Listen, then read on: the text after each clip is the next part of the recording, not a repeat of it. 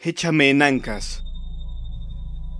Era el año de 1949 cuando en el pueblo de Lampazos, por los caminos al noreste de la ermita, en las cercanías a la loma de la Santa Cruz, Luis Pérez Casteñón cruzaba los montes muy de madrugada rumbo a los apriscos, ocupado en atender el rebaño o trayendo la leche para los entregos del pueblo. Las cabras eran su única posesión y medio de vida, así que con esmero se aplicaba su cuidado, y todavía oscura la mañana, regresaba con los botes lecheros llenos.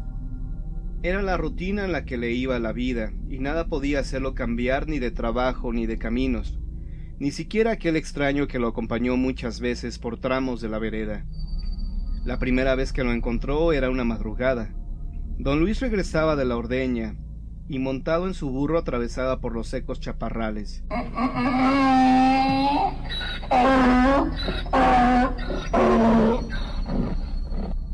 El animal avanzaba con la cabeza baja, como atento a cada vericueto y piedra del camino, pero repentinamente el fiel jumento levantó pescuezo y orejas como premonición del ya próximo contacto. En medio de la vereda estaba una masa informe, más negra que la noche, una sombra en movimiento que sin pies se deslizaba por el suelo. Don Luis lo miró atento y en guardia, puso la mano al mango del cuchillo y se fue acercando al deforme. Algo en su interior le avisaba que aquello era un ser del inframundo, pero venciendo el miedo que le sobrecogía el ánimo, siguió su marcha. Al pasar al lado de la aparición, el espectro se pegó caminando a un lado del burro y dejó escapar una voz hueca, calcárea, pidiendo sin más explicación. ¡Párate! ¡Échame en ancas!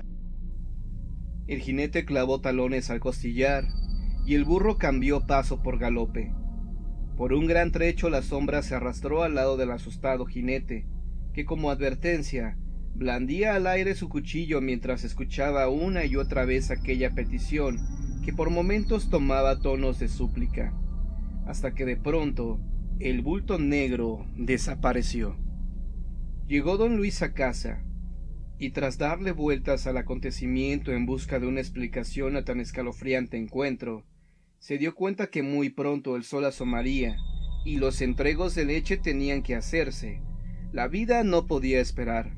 Pero la historia no paró ahí, pues a la siguiente madrugada la tétrica presencia esperaba al lado del camino para confirmarle la veracidad de lo antes vivido y para repetir la macabra propuesta. Y de ahí a varias semanas la sombra fantasmal siguió molestándolo a diario, pero aunque buscara otras veredas, aquella era la ruta obligada del pueblo hacia los corrales, y no había más remedio que aguantar la situación, sin más protección que el cuchillo en alto.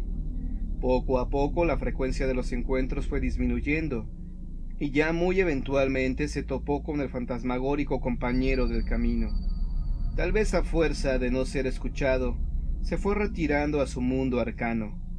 Pero don Luis recordó por muchos años aquel recurrente encuentro, y en su memoria resonó por siempre la súplica del noctámbulo macabro.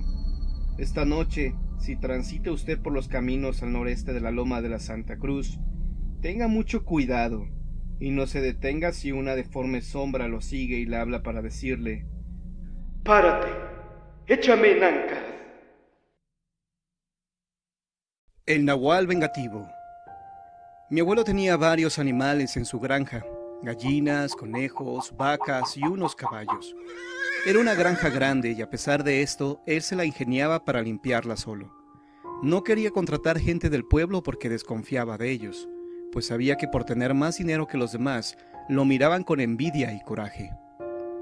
Mi abuelo había heredado la granja de su padre, que falleció relativamente joven, a los 53 años de edad. El caso es que una noche varias de sus gallinas amanecieron muertas. Mi abuelo de inmediato pensó que se había tratado de un perro salvaje, aunque le extrañó la forma en que aparecieron muertos sus animales, pues estaban, por así decirlo, ordenados en fila. Ningún perro ataca de esa forma. Además, el corral en el que estaban tenía una puerta firme que se abría girando una perilla. Un animal no puede accionarlo. Creyó entonces que alguien, por pura envidia, se le había brincado a su terreno, que había llevado y soltado un perro rabioso dentro del corral para que atacara a las gallinas. Era la única explicación lógica que se le ocurría en ese momento.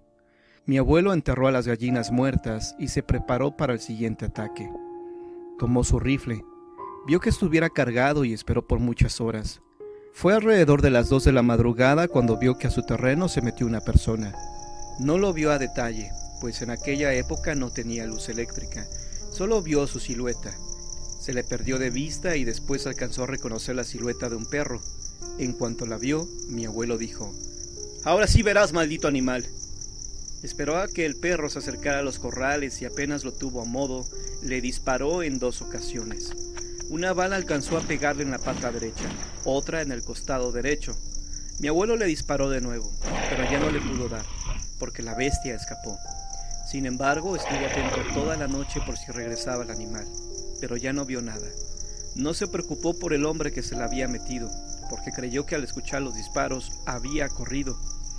Al día siguiente mi abuelo fue al pueblo y notó que todos lo miraban muy feo, más que de costumbre.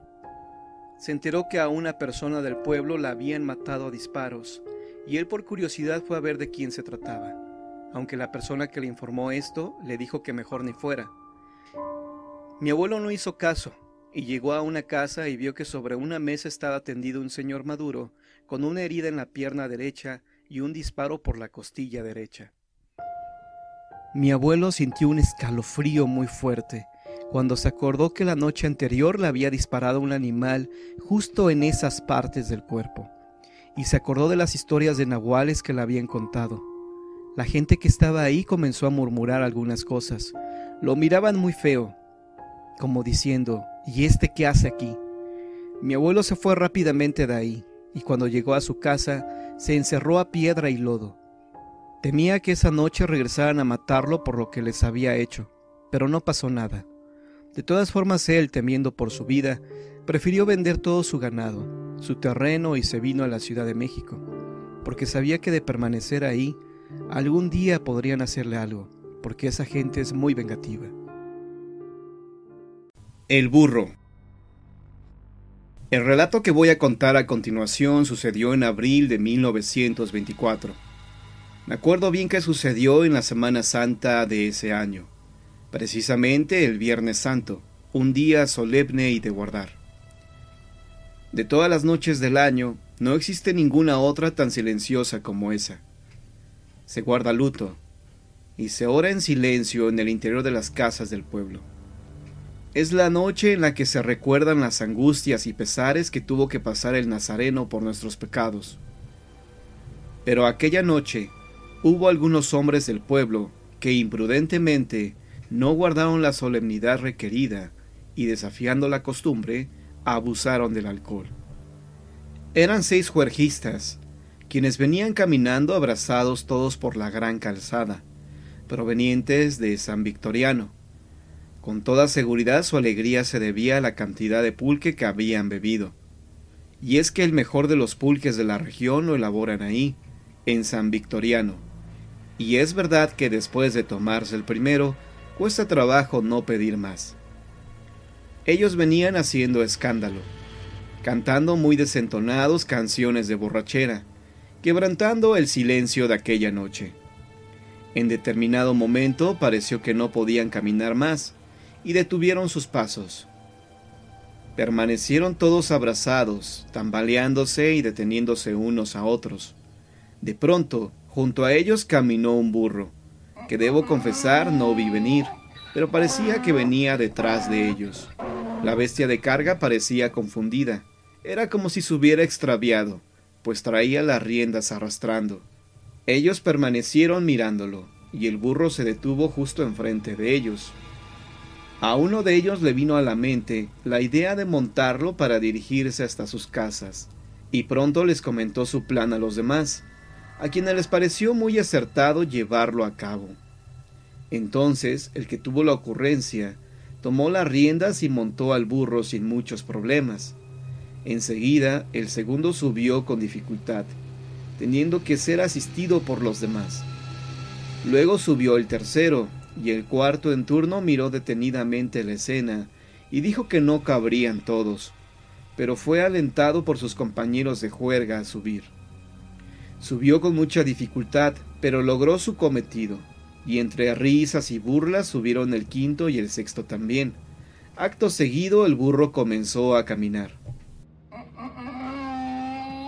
Por increíble que parezca, cupieron los seis hombres en el lomo del burro, y yo, sin poder creer lo que miraba, abrí grandes mis ojos para observar lo que pudiera suceder. Para ese entonces yo ya estaba muy asustado, porque el burro parecía haberse alargado para que aquellos imprudentes hombres cupieran. Es verdad lo que digo, no era ninguna alucinación lo que estaba contemplando. Permanecí observando aquel misterio mientras los hombres, sin darse cuenta de lo largo que era el burro, iban entonando canciones y diciendo malas palabras. El burro caminó unos cuantos metros con un paso torpe, pero se detuvo a la entrada del pueblo fatigado, y se negó a seguir caminando. Entonces, aquellos hombres enfadados comenzaron a agredirle dándole golpes en los costados con sus pies, y el último de ellos le jaló la cola. El burro resistió un par de minutos la ira de los seis borrachos cuando de repente un rebuznar aterrador hizo eco en aquel pesado silencio de la noche. Giró su cabeza hacia atrás el burro y su rostro se había modificado por el de un aterrador animal. Yo lo vi y quedé paralizado, mudo del espanto porque sus dientes eran muy grandes, tanto que le deformaban el hocico. Sus orejas levantadas y puntiagudas le daban un aspecto aterrador. Apenas lo miraron los rostros de aquellos seis que reflejaban sonrisas, de pronto palidecieron, se abrazaron unos a otros y gimieron del espanto. En el mismo momento el burro se descontroló, reparaba y lanzaba patadas violentas mientras rebuznaba, y aquellos infelices hombres parecían morirse del miedo. Pero no duró tanto tiempo su tortura porque ante las violentas sacudidas fueron cayendo del humo del burro uno a uno. El último en subir fue el primero en caer, y se golpeó sin piedad en las piedras lisas de la calle empedrada, quedándose en el suelo inmóvil. El segundo fue lanzado con tanta energía que se impactó sobre la pared de una casa, quedando tendido y sin sentido. El tercero cayó en el interior de una zanja, quedando boca abajo e inconsciente con el peligro de que el agua le ahogara. El cuarto se golpeó en una cerca de piedra que estaba en la entrada del pueblo. El quinto fue lanzado con tal rigor que golpeó su cabeza con el grueso tronco de un árbol. Y el último de ellos, el que había liderado la empresa de montar al burro, se aferró a las riendas y se abrazó fuertemente con sus piernas al lomo del animal. El burro entonces echó a correr por la gran calzada con el rumbo de San Victoriano, con el hombre a cuestas a una velocidad descomunal.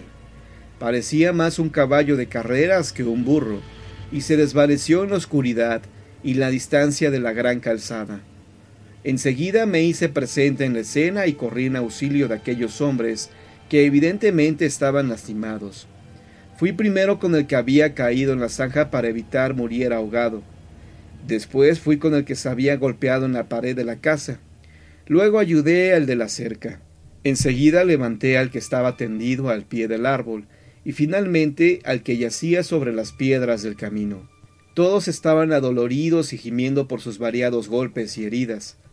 Al que saqué de la zanja se le quebró la nariz, la tenía chueca y le sangraba en abundancia. El que se golpeó sobre las piedras del camino sangraba por una larga y profunda herida en su frente. Al que se golpeó con la pared de la casa se le había salido el hueso del hombro de su sitio. ¿Y qué decirte del que se golpeó con la cerca de piedras? Se le habían caído varios dientes del tremendo golpe. Pero el que más me preocupaba era el que se había impactado en el árbol, porque aquel ingrato no sabía quién era ni a dónde estaba. Con dificultad los coloqué a todos sentados junto a la gran calzada mientras miraba hacia el rumbo de San Victoriano en donde a lo lejos nada más las rebuznadas se escuchaban. Utilicé mi silbato y con grandes voces pedí ayuda. Los hombres de las primeras casas del pueblo me escucharon y salieron a ver qué pasaba. El de la nariz rota se me desmayó varias veces, y los dolores del que se había zafado el hombro eran muy grandes. Estábamos ahí brindándoles ayuda a los heridos, cuando a lo lejos vimos al hombre que se había llevado el demoníaco burro sobre sus lomos. Venía corriendo, caía constantemente, y cuando estuvo cerca de nosotros se detuvo, y se hincó llevándose sus manos al rostro. Sus ropas estaban muy sucias y desgarradas, tanto que apenas lo cubrían. Había sido lanzado sobre un zarzal, que estaba junto a la gran calzada, y las espinas habían penetrado casi todo su cuerpo. Las marcas que les quedaron a esos seis hombres por su imprudencia les resultaron para toda la vida. Al de la nariz rota nunca le volvió a su sitio, y por las noches mientras dormía, la respiración se le dificultaba. El de la herida en la frente trataba de cubrir con un paliacate y un sombrero la cicatriz que desde entonces le identificaba. El del hombro no le volvió nunca a su sitio, y deforme resultaba su apariencia, imposibilitándolo de realizar sus actividades. El que perdió los dientes nunca jamás pudo volver a comer como antes lo hacía. El que se golpeó en el árbol perdió la memoria. No fue más capaz de acordarse de casi todos los días transcurridos de su vida. Y aquel hombre que fue arrojado a las espinas quedó picado de cicatrices en su rostro, en sus manos, en sus piernas y en sus espaldas cicatrices que con el calor le ocasionaban ardores y con el frío fuertes dolores. Ese fue el castigo que recibieron aquellos seis desdichados, que no pudieron guardar el día solemne, que es el Viernes Santo. Por eso fueron reprendidos, por eso recibieron un castigo que les marcó sus cuerpos como un recordatorio para ellos y como una advertencia para los demás.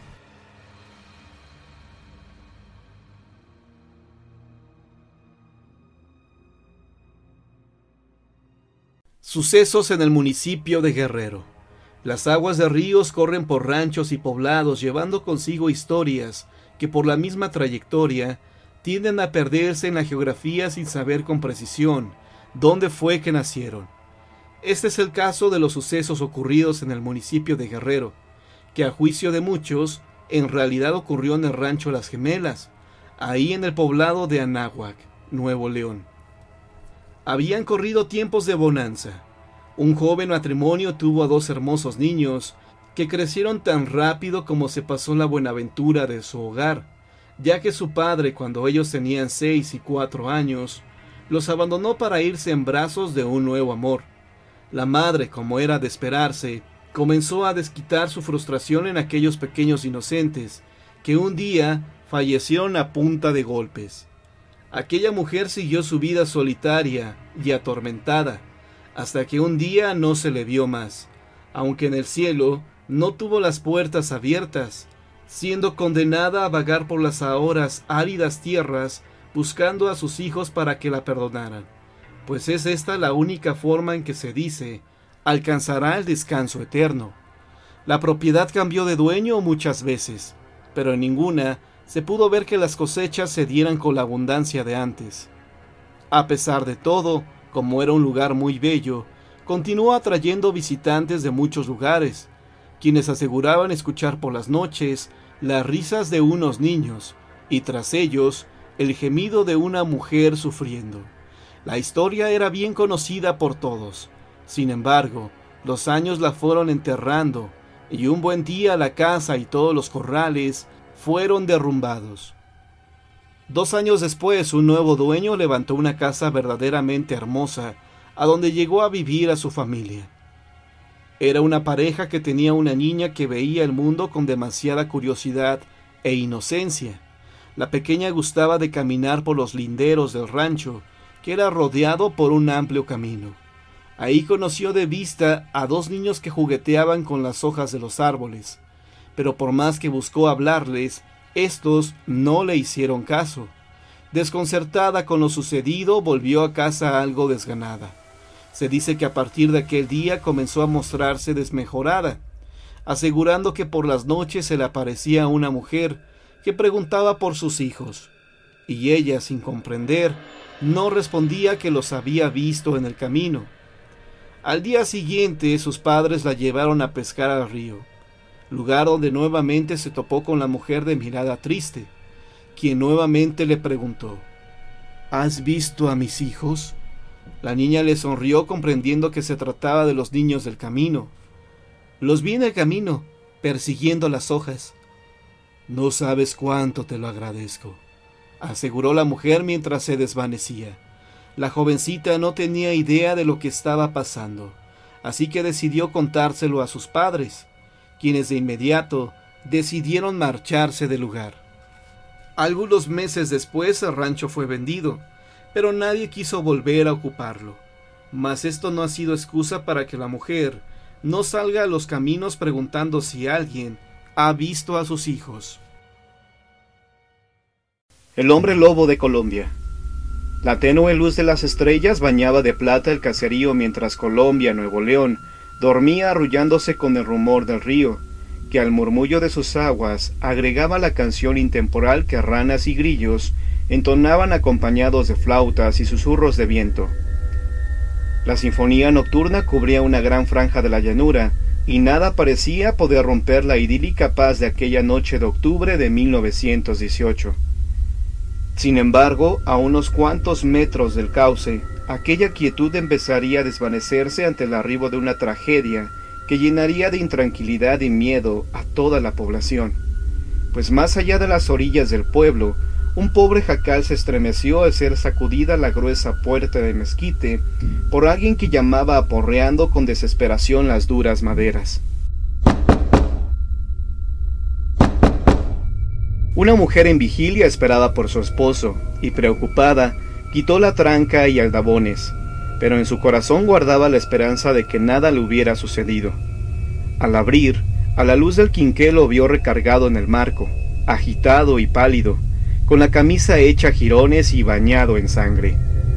Y un dolorido grito de mujer marcó el inicio de una triste leyenda que hoy todavía se cuenta entre la gente de esta población. Tras el sobresalto inicial, su esposa lo bañó y con fomentos de árnica lavó sus carnes desgarradas y lo hizo tomar algunos dientes de ajo para evitar la infección. Amorosa, veló su sueño y pasó la noche sentada ante la cabecera del lecho, en que el hombre enfebrecido deliraba, contando entre sueños el ataque de un feroz lobo. Inés Perales era un jornalero que tenía como principal ocupación la recolección de leña y aquella tarde había reunido la suficiente para abastecer los entregos y cubrir las necesidades del hogar por varios días. Al término de la jornada, se acercó a la mula para preparar los arreos de carga, pero el animal retrocedió lleno de nerviosismo.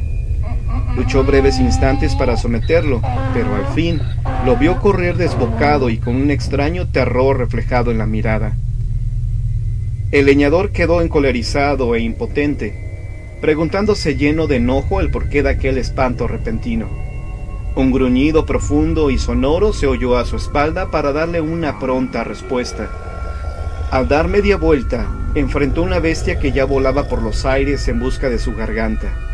Instintivamente se cubrió el rostro y sintió un mordisco que en rápidas sacudidas le destrozó el antebrazo mientras era derribado por el peso de la robusta fiera. Se revolcó y rodó gritando de pavor. Con brazos y piernas se abrazó al corpulento animal y, aferrado, sintió que eran menos las temibles dentalladas con que el atacante buscaba destrozarlo.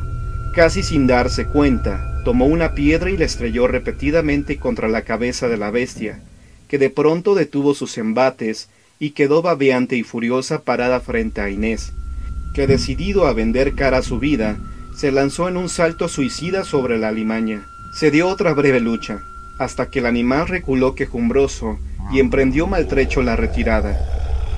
El sol ya había caído, e Inés sintió que una debilidad extrema se apoderaba de todo su cuerpo. Cayó de rodillas y se derrumbó sobre la tierra, dando gracias a Dios por haberle dado fuerzas para vencer a tan poderosa bestia. Y quedó ahí, tendido bajo las estrellas que fueron saliendo una a una por el oriente, para asomarse a ver al valiente, que se desangraba sin posibilidad de auxilio en medio del monte. Cuando despertó, vio que la noche estaba ya muy avanzada. La hora no importaba, solo empezó a arrastrarse siguiendo por instinto la dirección hacia el hogar. Se puso penosamente de pie, y tambaleante, caminó hacia donde una mujer y unos niños esperaban su regreso. Al paso de los días, aquel hombre fue sanando y volvió a la cotidiana lucha por ganar el sustento pero empezó a sentir un persistente dolor de cabeza que cada día parecía agudizarse, hundiéndolo por momentos en estados de depresión y mal humor. Su irritabilidad lo llevó a golpear sin compasión a un vecino del lugar por ínfimos motivos, y comprendió que algo le pasaba y era necesario buscar ayuda. El 19 de octubre de 1918, el encargado político, subteniente Longinos G. García, escribió una carta dirigida al subsecretario de Gobierno del Estado de Nuevo León, pidiendo ayuda, para un hombre que fue atacado por un lobo rabioso y que daba muestras de no haber recuperado completamente la salud. Los estados de ira se hacían cada vez más frecuentes y ya Inés Perales no podía encontrar trabajo para el mes de diciembre se había convertido en una verdadera amenaza para la población y las quejas de las familias colombinas llovían sobre el encargado político, que empezaba a recibir reportes de aquel demente que merodeaba por las orillas del río Bravo, escondido entre los carrizales en actitud por demás intimidante, gesticulando, mostrando amenazante los dientes y gruñendo como perro furioso. Se alejaba cada vez más de las actitudes humanas y el escándalo corrió por las calles cuando atacó a un hombre a mordidas y rasguños. El suscrito Longinos G. García, en funciones de encargado político de la Congregación de Colombia, informa a usted lo siguiente. Y tenemos mucho problema en la congregación por el vecino que fue mordido por un lobo, pues está actuando de manera extraña. Acosa a la gente, gruñe, desgañita, araña, lanza espumarajos por la boca, camina en cuatro patas y aúlla como un lobo. El encargado político jamás recibió respuesta del secretario de gobierno, así que decidió investigar personalmente en casa de Inés Perales. Estaba harto de las historias que la gente le llevaba sobre el hombre lobo, y era necesario buscar un remedio para aquella situación. Pero la familia de Inés le negó el paso y toda información, así que aquella noche preparó sus armas y en compañía de un ayudante se dirigió a la casa que antes fue hogar feliz, y era ahora un lugar de infortunio. A lo lejos, un largo aullido se hizo escuchar.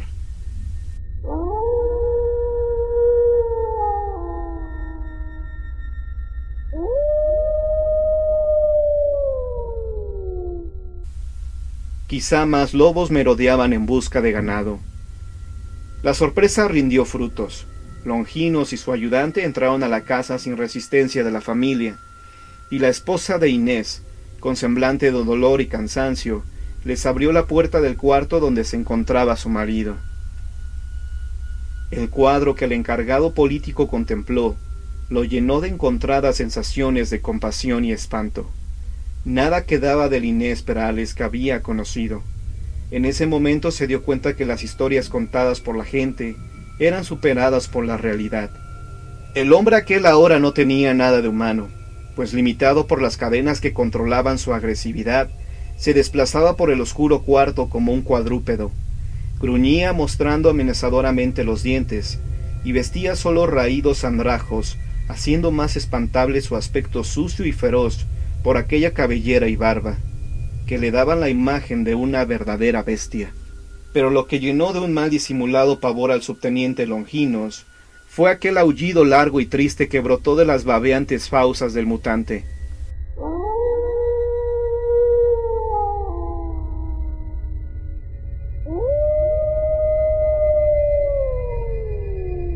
Quizá por el sincero deseo de ayudar a la atribulada familia, o tal vez para apaciguar los temores de la población espantada, el subteniente Longinos llevó al llamado hombre lobo a la única celda del pueblo, y ahí, tras las gruesas rejas de metal, lo mantuvo libre de cadenas, procurando darle los cuidados que la insensibilidad del gobierno del Estado le negó al desgraciado. Y en la quietud de las madrugadas, un aullido escapaba de la celda y en alas del viento volaba sobre el caserío, a veces con acento de desesperación ante la incomprensión humana, y a veces con un profundo dejo de tristeza y soledad. Con verdadera furia arremetía contra las rejas de acero, y sus estados de ferocidad se hacían más intensos en las horas de calor. Los cuidados se hacían cada vez más difíciles, y muchas veces la alimentación era imposible. Así, las semanas y los meses pasaron entre intentos por interesar a las autoridades, por la salud de aquel pobre condenado. Tal vez cada carta era echada al archivo del olvido entre burlas de incredulidad que resonaban por los salones de cantera rosa del Palacio de Gobierno, mientras allá en la distancia un hombre se consumía día a día, al igual que aquel pueblo olvidado por el mundo, pegado a la frontera, pero lejos de todo. A finales de mayo de 1917, el encargado político recibió un comunicado de la Secretaría de Gobierno. Era una carta que llenó de coraje y náuseas el endurecido rostro del subteniente, hombre de armas y actor de innumerables batallas en la Revolución, que sin embargo nunca perdió la dimensión humana. Con furia y decisión tomó la pluma y escribió Al secretario de Gobierno. Pero muchas gracias por la ayuda que ofrece. El vecino mordido por un lobo rabioso hace ya dos semanas que murió. ¿De qué murió Inés Perales? Tal vez una aguda anemia por la irregular alimentación tras las rejas lo fue consumiendo paulatinamente hasta acorralarlo y empujarlo hacia la única puerta de escape que le quedaba abierta, la muerte. O quizá fue un caso de demencia con desdoblamiento de la personalidad, que fue lo que lo llevó a actuar como lobo. Fue un caso de hidrofobia que duró casi ocho meses. Fue un auténtico caso de licantropía. En aquel tiempo la población no tuvo la capacidad para entender cabalmente los males que padeció Inés Perales, y sólo se atuvo a los hechos como elementos de juicio. Un hombre que caminaba como un cuadrúpedo, que gruñía, que aullaba, que merodeaba por el monte al acecho de los humanos a los que atacaba con uñas y dientes. Solo podía ser un licántropo.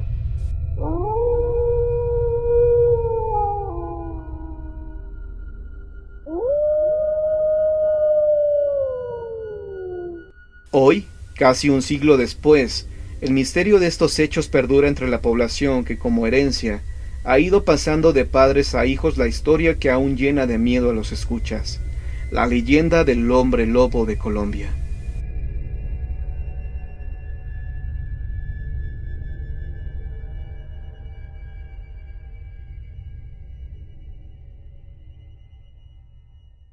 Era domingo de resurrección y los pobladores de Colombia se vieron invadidos de visitantes que de Anáhuac y Nuevo Laredo llegaban con sus familias en busca de los sombreados parajes del río Bravo, para celebrar el muy fronterizo y tradicional Día de la Coneja. Los paseantes llegaron desde muy temprano para alcanzar los mejores lugares, aquellos de sombra cerrada y donde el agua es poco profunda, para pasar sin sobresaltos el rato de esparcimiento mientras los mayores buscaban un remanso para lanzar el curricán, soñando ya con un catán en chicharrón para agasajar a los niños. Nadaron y gozaron del agua hasta llegar el momento culminante en que los pequeños se lanzarían a buscar los decorados huevos pascuales, previamente escondidos por los mayores. El ganador sería quien recolectara más huevos, pero el final fue perseguirse unos a otros para quebrarse en la cabeza los cascarones, quedando bañados de confeti que limpiaron con un último chapuzón. La tarde avanzó y las familias se fueron retirando, pero quedó una que no se resignaba a dar por terminado el paseo. El astro rey ya desaparecía por el poniente, y a pesar de que ya habían recogido el campamento, los niños permanecían en el agua, refrescándose y disfrutando de un día feliz que se iba con el sol. Los pájaros habían recogido en sus nidos silenciaron su canto para dar paso a una nueva sinfonía ejecutada por los grillos y ranas que empezaron a llenar el viento con sus coros. En los últimos momentos de visibilidad empezaron a salir del agua con desgano, pero de pronto un extraño silencio se impuso. Grillos y ranas enmudecieron y el aire se llenó de presagios. El agua se empezó a agitar como si algo sacudiera el lecho del río la superficie se movía y producía figuras como si una lluvia invisible la azotara, mientras un murmullo misterioso empezó a oírse y a crecer llenando el ambiente como si el río estuviera a punto de revelar un tenebroso secreto.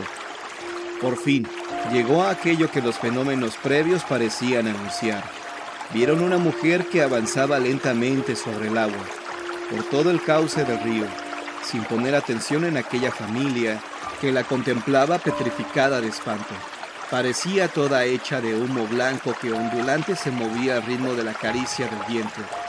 De pronto, detuvo su paso sobre el agua para abrir la boca y lanzar un doloroso lamento que penetró los oídos de los espectadores. Y los hizo reaccionar corriendo entre gritos de terror hasta la camioneta que esperaba unos metros más adelante. El chofer maniobró torpemente con los cambios y dio un arrancón descontrolado por el pánico. La camioneta no libró el poco espacio de que disponía y desbarrancó cayendo a la parte de aguas profundas, en un trágico final que llenó de compasión a las primeras estrellas que salieron por el oriente a contemplar aquella tragedia. Hoy, el viento suspira por todo el cauce las mil historias que guarda el caudal del Bravo. Los habitantes de Colombia aún cuentan de una blanca aparición que lamenta sus penas por el río, llenando de terror a quien escucha, o causando desgracias como la de este relato que todavía cuentan a los niños para que se retiren del río, antes que la noche llegue. El jinete esta historia que voy a contar enseguida tuvo lugar en el año de 1922. Sucedió durante la madrugada del día 16 de septiembre, el día de la celebración de la independencia de la patria. Ese era un día de mucho ajetreo en el pueblo, pues se llevaba a cabo el desfile por la calle real y se izaba la bandera nacional en la plaza en presencia de casi todos los habitantes. Para mí significaba un día de mucha actividad, pues la noche del 15 se realizó como es costumbre el grito que dio inicio a la guerra. Hubo cohetones y disparos al aire, y todo lo contrario a lo que me imaginaba. Fue una noche tranquila. Todos se fueron a dormir temprano, pues no querían gastar energías para estar descansados al día siguiente. En cambio yo me encontraba agotado.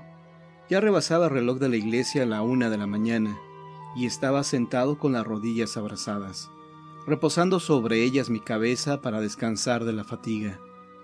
El viento movía las ramas de los árboles con insistencia.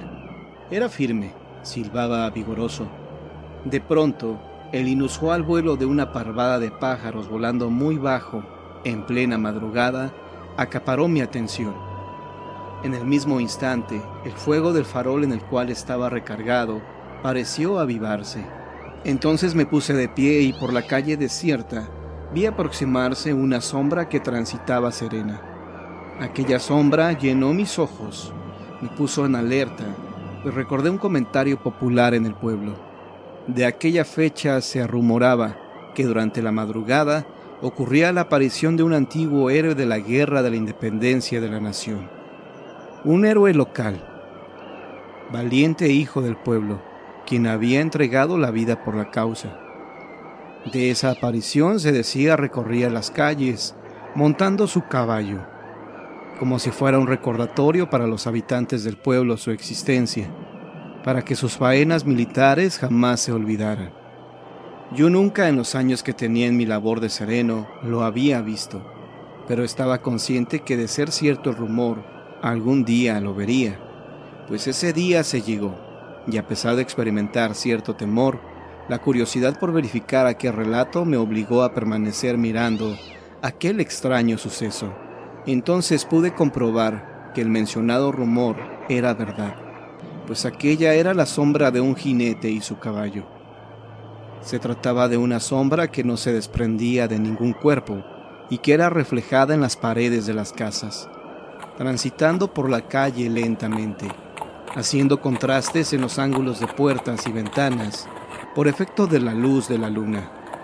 De aquella sombra se desprendían sonidos y movimientos, pues asombrosamente se escuchaba la respiración del caballo, así como también el firme el golpeteo de sus cerraduras, mientras el jinete jalaba de la rienda con una sola mano, porque la otra la tenía ocupada con lo que evidenciaba ser un arma presta para usar. Es necesidad que describa a detalle la sombra del jinete, pues en verdad parecía tratarse de un héroe por lo muy gallarda y soberbia que era su apariencia. Y a pesar de ser nada más que una sombra, parecía realmente uno de aquellos hombres que dieron la vida por la patria, pues muy erguido cabalgaba, volteando su cabeza hacia todas direcciones, como si se cuidara a una embestida del enemigo que combatía. Permanecía en silencio mirando, y cuando la sombra pasó justo enfrente de mí, se detuvo. Entonces, aquel jinete pareció voltear hacia donde yo me encontraba.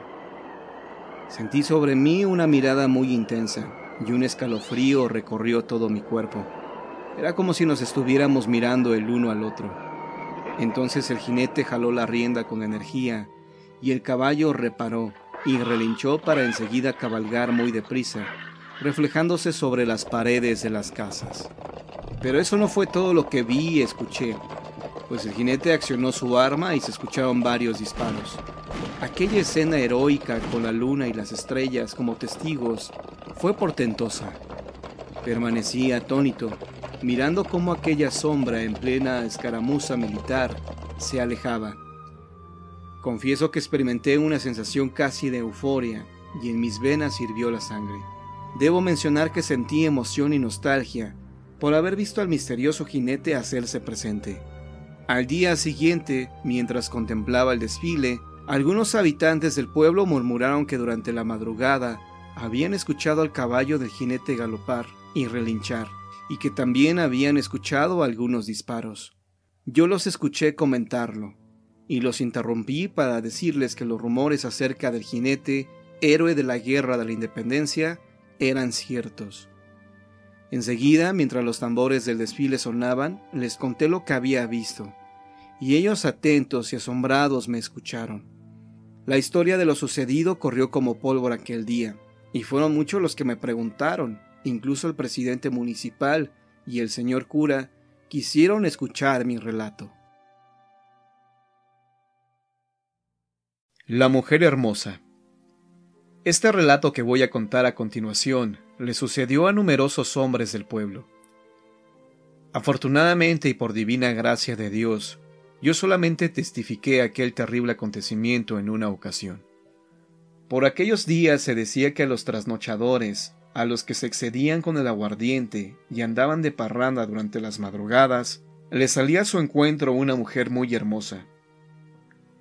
Las víctimas eran siempre aquellos hombres que, dominados por los efectos del alcohol, regresaban a sus casas sin ninguna compañía. Transcurría los primeros días del mes de febrero de 1921. Me acuerdo bien de la fecha porque eran las fiestas del carnaval. Precisamente fue durante la madrugada del miércoles de ceniza. El martes de carnaval, como es día de fiesta para el pueblo, la gente se vistió de gala y acudió como es costumbre a la misa solemne en el templo de Santiago Apóstol,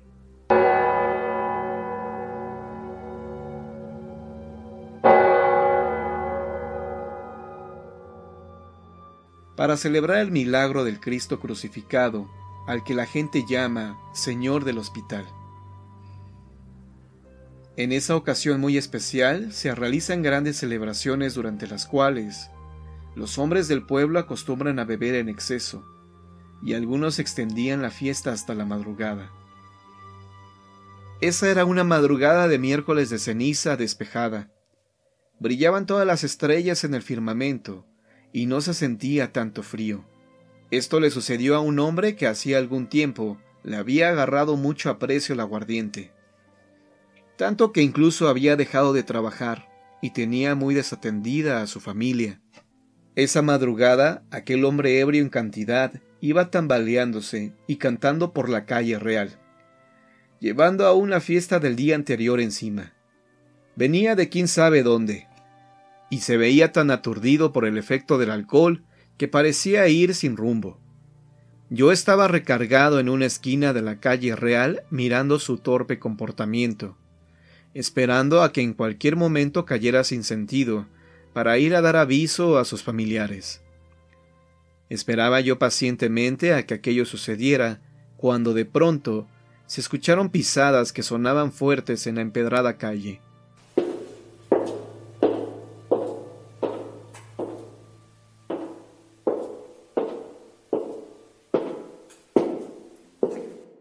Por su sonar era evidente que se trataba de una mujer quien se acercaba. Me pareció muy extraña aquella situación, y asomándome a discreción por la esquina, observé a una mujer que venía por la calle caminando en sentido contrario al hombre. Debo confesar que abrí grandes mis ojos para mirar a la trasnochadora y misteriosa dama, y vaya que me sorprendí a causa de su belleza. Su rostro parecía tener un efecto que hipnotizaba. Sus ojos eran grandes, muy expresivos, y los engalanaban unas largas pestañas enchinadas. ¿Y qué decir de su boca? provista de unos labios carmesí, carnosos y suculentos, y su cuerpo parecía la más perfecta de las esculturas, cuyas bien formadas curvas se dejaban ver a detalle gracias a las ajustadas ropas rojas y brillantes que portaba. Ella llevaba en su mano derecha un largo y delgado cigarrillo, el cual fumaba tímidamente mientras caminaba con gracia y elegancia. En verdad era tan atractiva que parecía que invitaba a ir tras ella a cualquiera que la viera. Mientras la veía venir pensé que mujer con apariencia tan hermosa no se había visto jamás en el pueblo, y me pregunté en silencio quién era y qué hacía aquella atractiva dama caminando en plena madrugada por las calles del pueblo. Supe que para dar respuesta a mis preguntas debía observar su proceder. Y así fue como hice. Asomado a discreción en aquella esquina, pude ver cuando aquella mujer hermosa y de misterio llegó hasta donde el borracho y se detuvo frente a él. El individuo sorprendido se llevó las manos al rostro, frotó sus ojos fuertemente como si lo que mirara fuera una alucinación, pero no tardó en darse cuenta que era real lo que estaba mirando. Fue entonces que estando ambos de frente, intercambiaron miradas. Se lanzaron atrevidas sonrisas, y enseguida, ella, haciéndole un gesto indecente, lo invitó a seguirla. Obedientemente aquel hombre fue tras la mujer hermosa que guiaba sus pasos hacia el interior de un tenebroso huerto, donde no llegaba el luminar de la luna y las estrellas. Yo lo seguía a discreción, y cuando entraron al oscuro huerto, me escondí detrás de un árbol.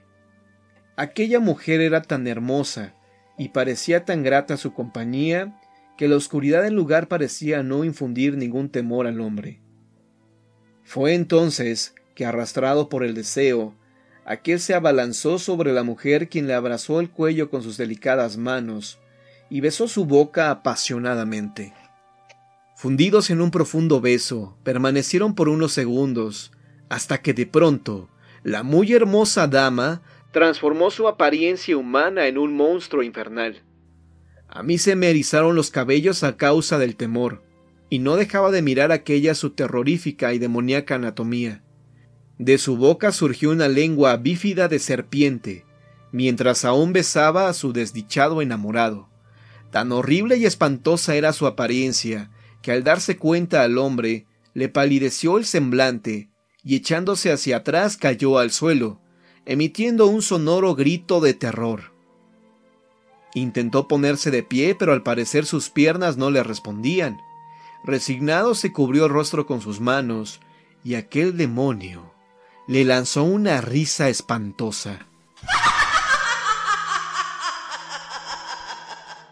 El desdichado hombre, sabiéndose indefenso, emitió unos estruendosos gritos que despertaron y pusieron en alerta a los habitantes del pueblo. En aquel momento, el demonio se internó con violenta rapidez en el huerto y desapareció en medio de la oscuridad sin dejar ningún rastro de su presencia mientras el hombre gritaba desesperado. Yo entonces me sentí seguro y abandoné mi escondite. Corrí y me acerqué a él mientras se cubría el rostro con sus manos para no mirar. Lo tomé de los hombros y le dije que estaba a salvo, que era yo, el sereno. Entonces quitó las manos de su rostro y me miró desconcertado. En aquel momento el hombre se echó a llorar como un niño. Temblaba de miedo y del tremendo susto hasta el efecto de la borrachera se le había quitado. Miraba hacia su alrededor. Era evidente que ni siquiera sabía cómo había llegado hasta el interior de aquel oscuro huerto. Su rostro parecía el de un cadáver, transparente, y se encontraba confundido, muy aturdido. Agarrándolo de un brazo, lo conduje a paso lento hasta su casa.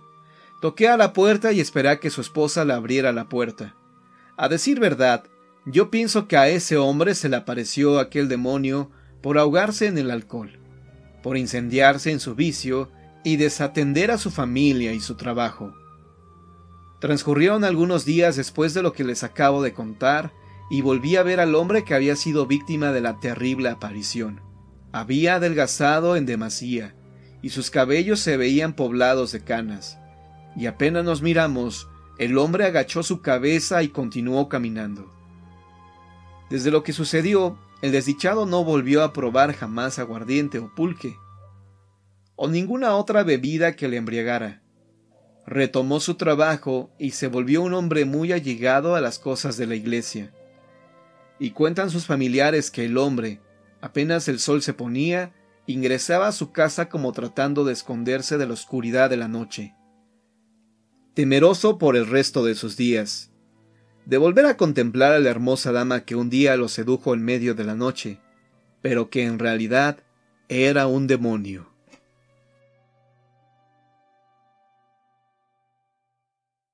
Pánfilo García.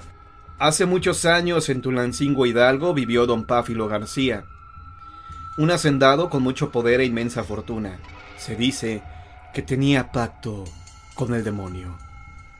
Él era dueño de 99 haciendas.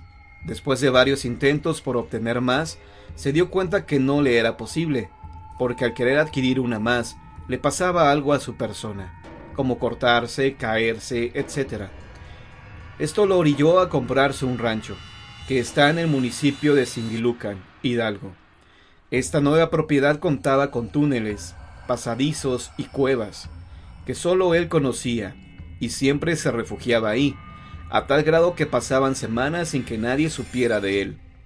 La persona que entraba a buscarlo nunca se le volvía a ver. Su propia hija no lo podía encontrar porque ni a ella le contaba sus secretos. Cuentan que don Pánfilo García era malo y cruel con sus trabajadores. No tenía derecho de faltar a sus labores, ni aun enfermos, porque una falta era motivo de que los echara los puercos hambrientos que tenía, y éstos devoraban a los peones. No escuchaba explicación alguna, y cuando su personal le pedían que les diera una ración más de comida, los encerraba en el cuarto de torturas y los castigaba hasta veinte o más días para que nunca más le volvieran a pedir algo. Al confesarle su hija que estaba profundamente enamorada de un peón y de su intención de casarse con él, en un arrebato de ira, don Pánfilo se enfureció tanto que la golpeó y la encerró durante muchos meses. Al peón lo mandó traer para torturarlo hasta destrozarlo, y aunque su hija le rogó que le diera santa sepultura, su padre no le hizo caso y él dio el cuerpo del enamorado de su hija en partes a los puercos para que fuera devorado. Su hija, al ver tanta crueldad que en su padre existía, se deprimió tanto que la orilló a suicidarse. Pánfilo no pudo con tan gran pena, ya que su hija era lo que más amaba en el mundo. Poco tiempo después se enfermó. Mandaba traer doctores de muchas partes. Estos, al conocer su posible fin, preferían huir, pues si no lo curaban, los arrojaba a los ya famosos puercos. Cada día que pasaba se enfermaba más y más. Todo era de tristeza. Hasta que murió dejando una enorme fortuna, de la cual ninguna persona podía tomar ni un centavo, ya que los que se atrevieron murieron, después de escuchar replicar de las campanas por mucho tiempo. El pueblo al fin se pudo reunir para darle una santa sepultura.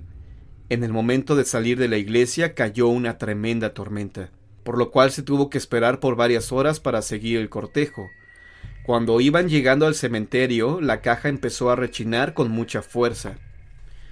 Los asistentes al sepelio, aunque estaban muy asustados, no se retiraban hasta que lo terminaran de sepultar. Y se llevaron tremenda sorpresa, pues cuando lo enterraban, era inmediatamente expulsado el féretro a la superficie. Después de varios intentos de enterrarlo, sin tener éxito aún, acordaron entre todo el pueblo que los peones que le fueron más fieles lo llevaran a las montañas más lejanas que pudieran, cargando todo su oro, joyas y dinero. Y así cargaron varios burros y a don Pánfilo García lo llevaron en una carreta. Después de dejarlo en esos lugares, los peones regresaron en los burros, ya que se pretendía enterrarlo con toda su fortuna. Dicen cuando iban en camino, los senderos se abrían y los burros empezaron a caer al vacío, y de la caja se escuchaban lamentos y rechinidos muy fuertes que se podían escuchar a lo lejos. Al llegar al lugar que habían acordado para sepultarlo los peones, nunca pudieron abandonarlo para poder regresar, y a la gente que iba a buscarlos la atacaban y decidieron quedarse junto a su amo como ermitaños. Después que murieron ellos, quedaron plasmados en piedra y con cara de horror de lo que seguramente vivieron con el paso del tiempo. La zona se encuentra al oriente de Tulancingo, a un lado del cerro El Yolo. Dicen que parte de su fortuna está enterrada en el jardín de la hacienda Exquitlán, cuidada por los duendes que aún moran en ella. La persona que puede entrar cuando haya luna llena y a las doce de la noche cabe exactamente donde esté la sombra de la cruz de la capilla, antes de ser devorado por los duendes, será el dueño de la fortuna de don Pánfilo García. Dicen que los santos de la capilla están ofrendados al demonio, pues los adoraban. Hasta los angelitos en lugar de arpa tienen un trinche, y la Virgen está con las manos en el pecho, adorando con la mirada hacia abajo. La estación Mesa se pobló con trabajadores del ferrocarril hace ya mucho tiempo. Las primeras casas que se alzaban a ambos lados de la vía fueron incendiadas y demolidas en tiempos de la Revolución, y en su lugar se levantaron al lado oriente pequeños cuartos que luego fueron también abandonados. Padecieron la rapiña de gente sin escrúpulos, y hoy lucen destruidos en sus techos y paredes, dando un toque de tristeza al paisaje semiárido que rodea el conjunto.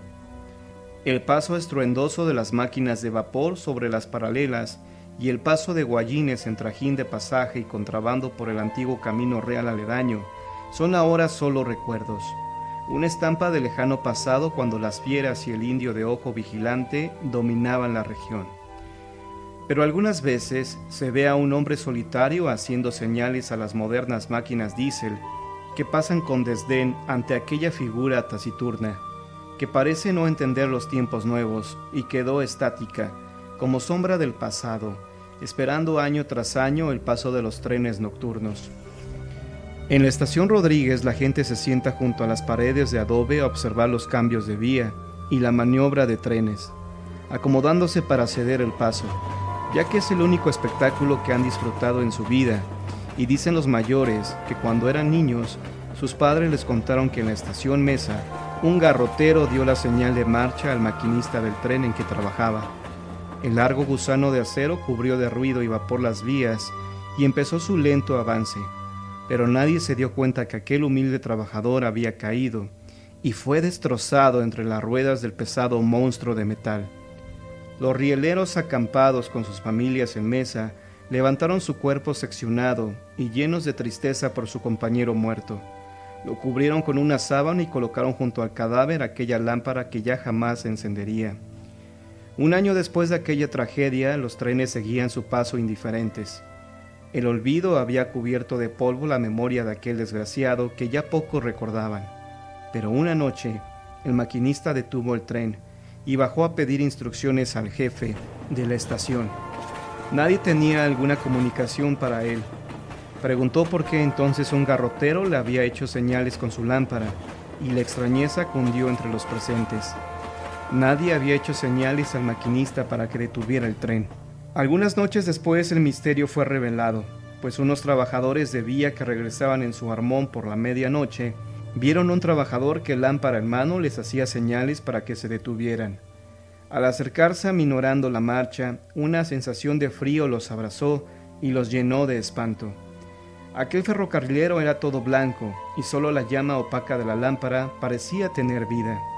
El espíritu aquel no parecía advertir su presencia y seguía haciendo movimientos con la linterna, como dirigiendo señales a un tren arcano que nunca pasaría.